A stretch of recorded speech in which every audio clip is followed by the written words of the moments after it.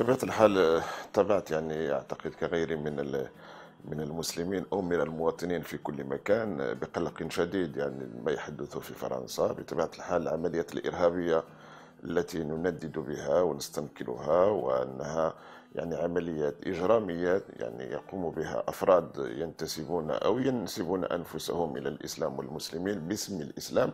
وهذا ما زاد يعني من القلق ومن تعقد المشكلة. فبطبيعة الحال كمسلم يبد أن نتحرك على واجهات متعددة من الاستنكار. مثلا في البداية لأن لابد أن نستنكر هذا الحدث الإجرامي الدموي يعني الشنيع آه، ولكن أيضا من أجل تحسيس يعني بقية الفاعلين الدينيين من أجل العمل على آه، وضع حد أعتقد ليس وضع حد لأن ليس بيدينا ولكن على الأقل آه، منع.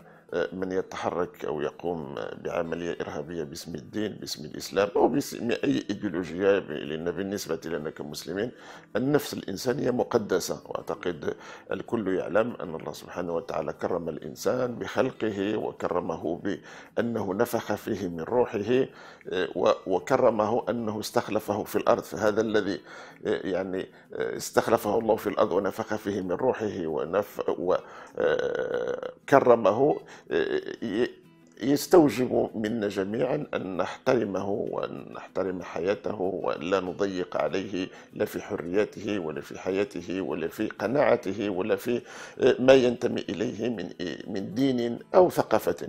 إذا بطبيعة الحال المتابعة كما قلت بقلق شديد نتمنى أن لا تساهم في إحداث شرخ بيننا وبين يعني الغرب وأن لا يكون هناك مزيد يعني من سوء الفهم بيننا وبينه الرسوم الكاريكاتورية يعني حدث وقع يعني منذ سنوات وقد بطبيعة الحال في حينه تلقى ردود فعل عنيفة من قبل العالم الإسلامي ولا زالت يبقى أنها يعني تتم في إطار حرية التعبير التي يتمتع بها الجميع يعني من الصحفيين وغير الصحفيين ولابد أن نحترم يعني هذه الحرية.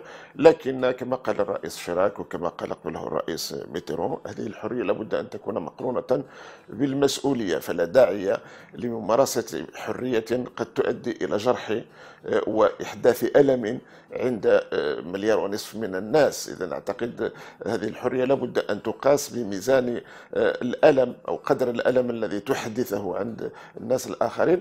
أشير أن الرسوم الكاريكاتورية فيما يتعلق بالنبي يعني صلى الله عليه وسلم وجدت في الغرب منذ القرن الثاني عشر. ليست ولدت اليوم ولكن موجودة منذ القرن الثاني عشر وتعامل معها المسلمين بكل أريحية. عندما أقول أريحية أن لسنا في حاجة إلى إعلان حرب على من يرسم الكاريكاتير وإنما يجب أن نرف أن نعبر عن رفضنا وأن نواجهه بنفس الأدوات لأن النبي صلى الله عليه وسلم حتى في حياته كانت ترسم ليست ترسم بالكلام كان يقال أنه مجنون يقال أنه ساحر يقال أنه شاعر يقال عليه كثير من الأمور وأنه طلب من شاعره من حسان بن ثابت أن يقابل الهجو بالهجو. يعني عندما كان يهجى فكان يطالب من حسان أن يرد عليهم شعرا. فلم يعلن حربا ولم يعني يقول أن ما يقومون به لا, لا يجب أن يقومون به وإنما رد عليهم بنفس الأسلوب وبنفس الأدوات أو إذا قلنا بنفس السلاح يعني المعرفية أو الفنية. إذا رسم كاريكاتوري لا, لا يجب أن يؤدي بنا إلى إعلان حرب على أحد. نحترم حرية التعبير ولكن نطالب أن تكون مقرونة, مقرونة بروح المسؤولية.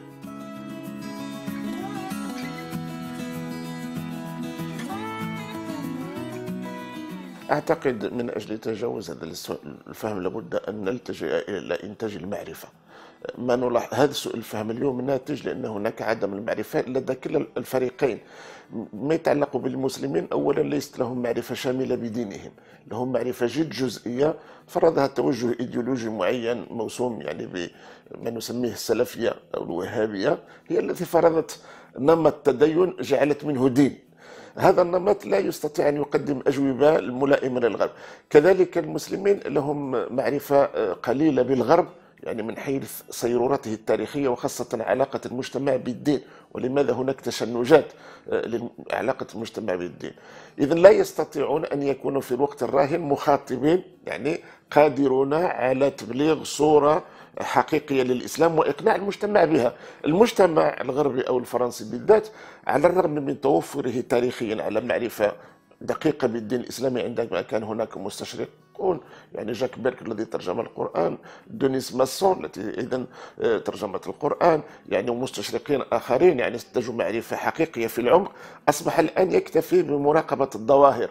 التطرف يعني الانكفاء على الذات آه، قضية الأحياء الهامشية آه، دراسات يقوم بها بعض السوسيولوجيين أو بعض الصحفيين الذين يقدمون أنفسهم كخبراء. ليست هناك معرفة حقيقية بالدين الإسلامي فبالتالي تتم قراءة الإسلام انطلاقا من التجربة التاريخية للغرب يعني انطلاقا من الكاثوليكية.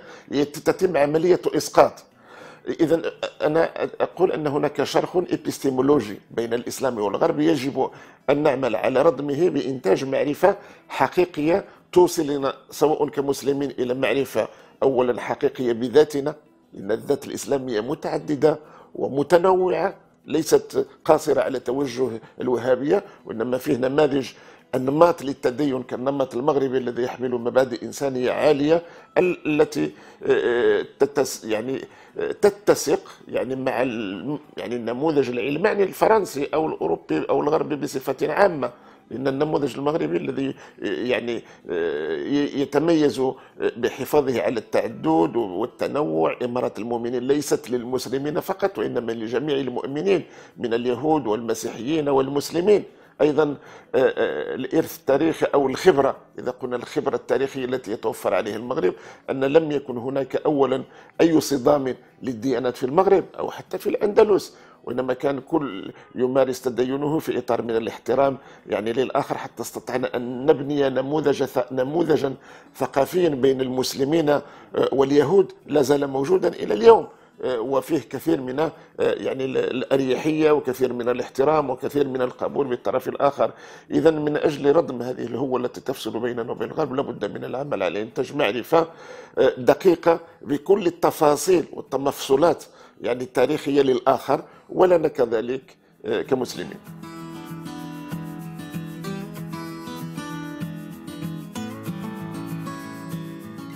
بطبيعة الحال اليمين المتطرف أو من ينسب نفسه إلى الإسلام ولكن متطرف أيضا هؤلاء يعملون على آه، كما قلنا آه، تعميق الهوة التي تفصل بين الطرفين.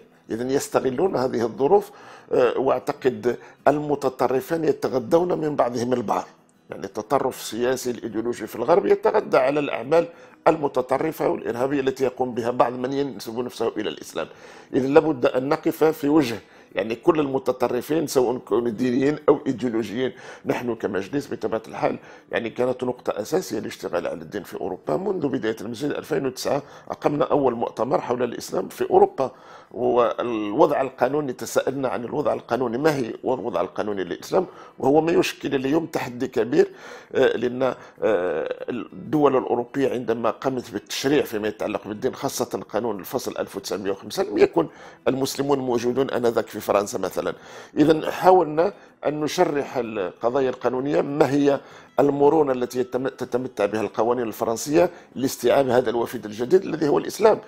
بطبيعة الحال من الناحية القانونية لم يكن هناك أي مشكل ولكن لاحظنا أن المشكل يكمن في آه، انعدام آه، الرغبة السياسية لدى الفاعل السياسي. هو الذي لا يريد أن يعطي تراخيص لبناء المساجد، أن يعطي تراخيص لإيجاد يعني مقابر، أن لا يعطي تراخيص مثلا للمرشدين الدينيين لا في السجون ولا في المستشفيات، اذا تمكين المسلمين من ممارسة يعني ديانتهم بحق وحقيقة. لأن ليس نعم قانون الفصل شيء جميل جدا الحيادية الدولة شيء جميل العلمانية شيء جميل الدستور الفرنسي أيضا شيء جميل ولكن لاحظنا أن هناك أيضا هو تفصل هذا القانون عن الواقع الحقيقي الذي تعيشه الجاليات أن ليس هناك تطبيق لهذا القانون.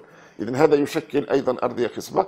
فقمنا بثلاث مؤتمرات يعني من 2009 حتى 2011 2010 2010 طرحنا سؤال يعني حول الإسلام في أوروبا أي نموذج هل الإسلام له قدرة على التأقلم لأن كانت له يعني تقاليد وتاريخا يعيش في بلدان أغلبيتها من المسلمين. لأن أصبح يعيش في بلدان هو أقلية. هل لديه قدرة للتأقلم مع الوضع الجديد. هل لديه قدرة على الإتيان بأجوبة جديدة التي مطروحة عليه في ذلك المجتمع؟ لأن قضية المجتمعات الغربية تتسم بالعلمانية تتسم بالديمقراطية تتسم بحقوق الإنسان تتسم ب يعني المساواة بين الرجل والمرأة تتسم بالحرية المعتقد. إلى آخره هل الإسلام له القدرة؟ لاحظنا كذلك أن الإسلام له هذه القدرة على التكيف وعلى التأقلم. ولكن آه، آه، لا يتوفر على كفاءات معرفية قادرة على آه، استنتاج هذه الأجوبة انطلاقا من الموروث التاريخي للمسلمين، اذا دعونا في مؤتمر ثالث وقمنا في أوروبا مع المجلس الأوروبي إلى ضرورة تدريس الإسلام وتكوين الأطر هذا المفتاح بالنسبة لنا لنتغلب على هذا سوء الفهم واليمين المتطرف. لابد أن نعمل على تكوين أطر لها تكوين إسلامي رصين ولكن لها تكوين أيضا في كل ما يتعلق بالمعارف المعاصرة. المعارف يعني الموجودة الآن آه، التاريخ تاريخ الأديان الإبستيمولوجيا يعني آه، اللسانيات علم اللسانيات يعني الفلسفة النقد إلى آخره.